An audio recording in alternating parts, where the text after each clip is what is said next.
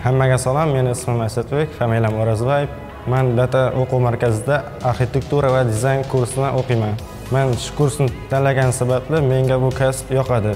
Jamoadoshlarim bilan biz inoqmiz. Birinchi kelgan kunimizdan inoq do'stlar, do'stlashib ketganmiz.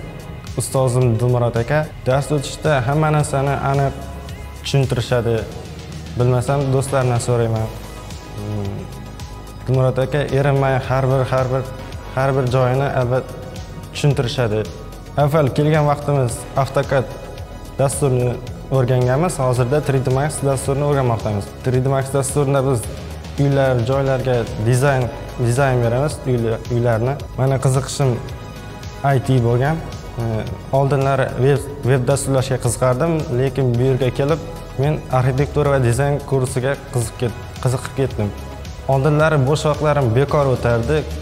Mm, hozirda esa deyarli bo'sh vaqtim yo'q. Bu yerda o'rganganlarimizni uyga borib takrorlab, yanada bilib olish uchun harakatda harakat qilamiz.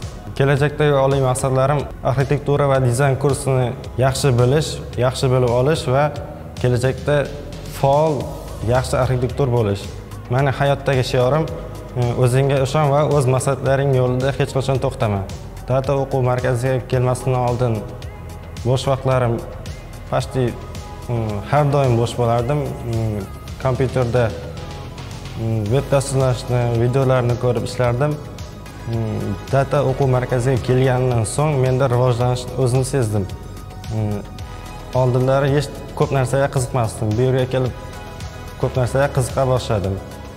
Shu fursatdan foydalanib men meni qo'llab-quvvatlab turgan ota-onalarimga, motivatsion ustozim Ulug'bek akaga, hammasiga kattakon rahmat aytaman. Ularning menga bo'lgan ishonchini men albatta oqlayman va albatta arxitektor bo'laman.